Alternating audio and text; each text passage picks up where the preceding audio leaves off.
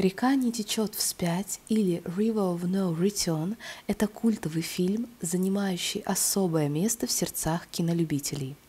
Вышедший на экраны в 1954 году приключенческий вестерн-фильм покорил зрителей захватывающим сюжетом, декорациями и невероятной игрой актеров.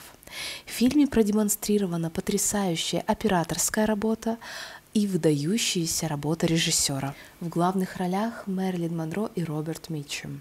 Фильм отправляет зрителей в дикое путешествие по коварной реке.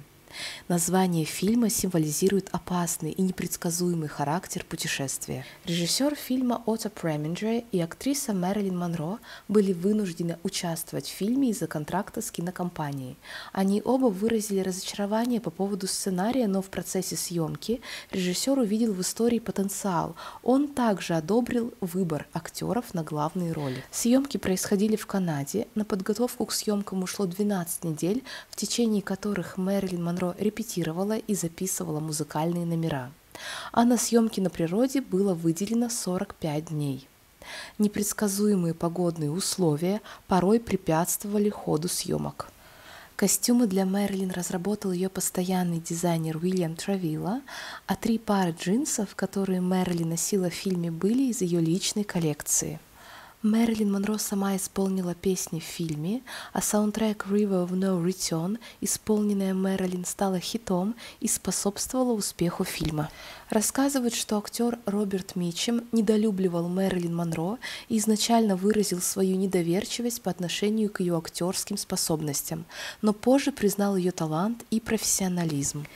На съемках повсюду Мэрилин Монро сопровождала ее педагог по актерскому мастерству. Это не нравилось режиссеру, так как педагог по актерскому мастерству давала актрисе противоположные указания и наставления.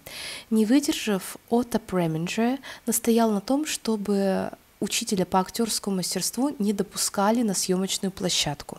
Но когда продюсер фильма выполнил это требование, Мэрилин Монро заявила, что не сможет сниматься, пока ее педагога не вернут.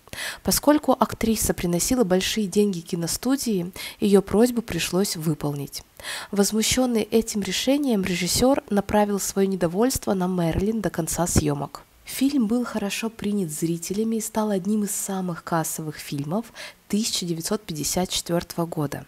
«Река не течет вспять» или «River of No Return» получила номинацию на премию «Оскар» за лучшую операторскую работу на 27-й церемонии вручения премии «Оскар». Критики высоко оценили выступление Мэрилин Монро. Считается, что данная роль в исполнении Мэрилин продемонстрировала ее универсальность как актрисы и укрепила ее статус в Голливуде. Примерно через 10 лет после того, как фильм был снят, Мэрилин отметила, что она недовольна своим выступлением.